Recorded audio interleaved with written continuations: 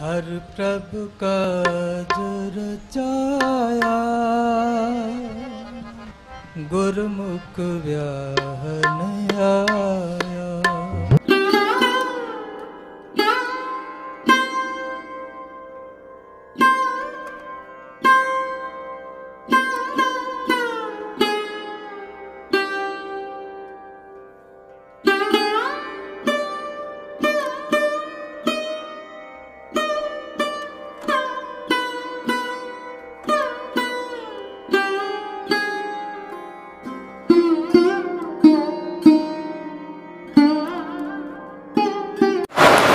ਸ੍ਰੀ ਗੁਰੂ ਨਾਨਕ ਦੇਵ ਜੀ ਨਾਮ ਲੈਵਾ ਸੰਗਤ, ਸਮੂਹ ਸਾਧ ਸੰਗਤਾਂ ਨੂੰ ਵਾਹਿਗੁਰੂ ਜੀ ਕਾ ਖਾਲਸਾ, ਵਾਹਿਗੁਰੂ ਜੀ ਕੀ ਫਤਿਹ। ਇਹ ਇਸ ਵਾਰ ਸ੍ਰੀ ਗੁਰੂ ਨਾਨਕ ਦੇਵ ਜੀ ਦਾ ਵਿਆਹ ਪੁਰਬ 537ਵਾਂ ਹੈ।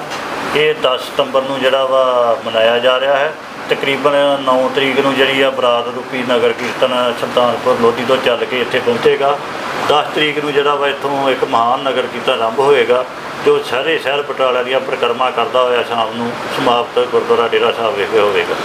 ਤਿਆਰੀਆਂ ਗੁਰਦੁਆਰਾ ਸਾਹਿਬ ਵਿਖੇ ਰੰਗ ਰੋਗਨ ਦਾ ਜਿਹੜਾ ਕੰਮ ਚੱਲ ਰਿਹਾ ਹੈ, ਸੰਗਤਾਂ ਦੇ ਸੰਯੋਗ ਨਾਲ ਜਿਹੜੇ ਪਾਣੀ ਦੀ ਘਾਟ ਨੂੰ ਮੁੱਖ ਰੱਖਦਿਆਂ ਹੋਇਆ ਜਿਹੜੀ ਪਿਛਲੇ ਸਮੇਂ ਆਉਂਦੀ ਸੀ, ਦੋ ਬੋਰ ਨਵੇਂ ਕਰਵਾਏ ਜਾ ਰਹੇ ਹਨ। ਹੋਰ ਵੀ ਜੋ ਲੋੜੀਂਦੀਆਂ ਚੀਜ਼ਾਂ ਘਾਟ ਪਿਛਲੇ ਸਮੇਂ ਆਈਆਂ ਵਾ, ਉਹਨਾਂ ਨੂੰ ਦੂਰ ਕਰਤਾ ਜਾ ਰਿਹਾ ਵਾ। ਬਾਕੀ ਸੰਗਤ ਜਿਹੜੀ ਆ ਤਕਰੀਬਨ ਹਰ ਐਤਵਾਰ ਵਿਆਹ ਪੁਰਬ ਨੂੰ ਸਮਰਪਿਤ ਆਉਣੀ ਸ਼ੁਰੂ ਹੋ ਗਈ ਆ, ਜਿਉਂ-ਜਿਉਂ ਨੇੜੇ ਆਈ ਜਾਂਦਾ, ਸੰਗਤਾਂ ਵਧਦੀਆਂ ਜਾਂਦੀਆਂ।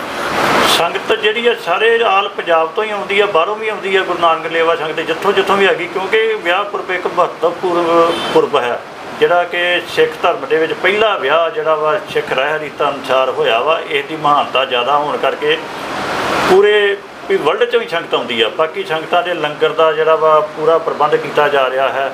ਬਾਕੀ ਜਿਹੜੇ ਸੰਗਤਾਂ ਦੇ ਰਹਿਣ ਲਈ ਲਾਗੇ ਛਾਗੇ ਕਮਰਿਆਂ, ਸ਼ਹਿਰ ਦੇ ਵਿੱਚ ਜਗ੍ਹਾ ਘੱਟ ਹੋਣ ਕਰਕੇ ਬਾਹਰ ਅੰਦਰ ਜਿਹੜਾ ਵਾ ਪ੍ਰਬੰਧ ਕੀਤਾ ਜਾ ਰਿਹਾ ਹੈ ਪੂਰਾ। ਸਮਾਗਮ ਜੀ 5 ਤਰੀਕ ਨੂੰ ਸਾਡੇ ਧਾਰਮਿਕ ਸਮਾਗਮ ਸ਼ੁਰੂ ਹੋ- ਹੋ ਰਹੇ ਆ।